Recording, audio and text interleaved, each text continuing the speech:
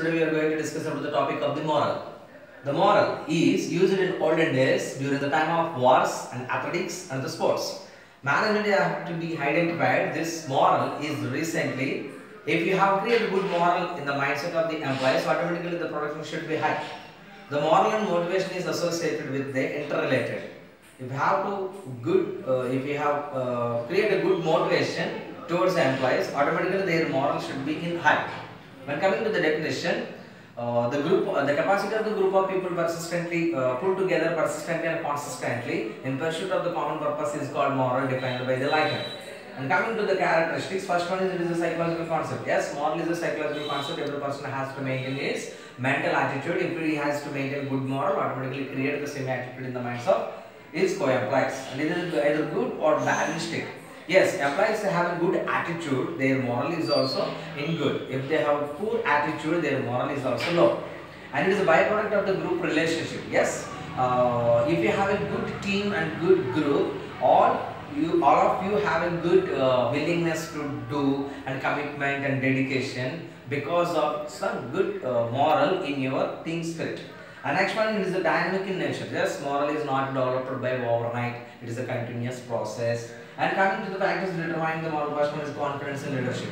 If the leaders are uh, good in the organization, means they are genuine, honest, and fair, and helpful to the subordinates. Automatically, the subordinates uh, will follow the uh, the uh, the respective leaders of the organization.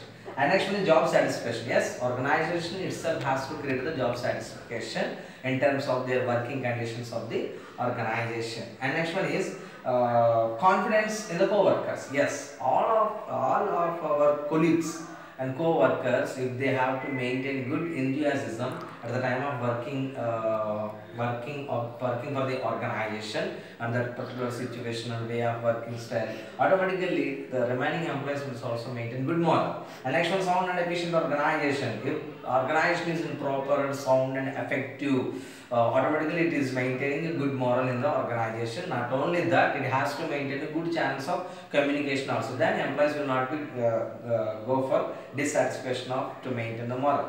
And next one is fair remuneration. Employee uh, organization must to pay good uh, remuneration system, payment of salaries, wages, providing on-time incentives, bonuses, etc. It will boost up the moral of the employees. And next, security of the job. Every organization first of all has to create good security and safety for the uh, employees. Or it will boost the moral of the employees. And next one, opportunity to rise. Every employee, while he joined in the organization, he must uh, he want to uh, become towards the higher position. So he is searching for that opportunity. Organization itself has to create the opportunity for the proper purpose of promotion and providing the reward.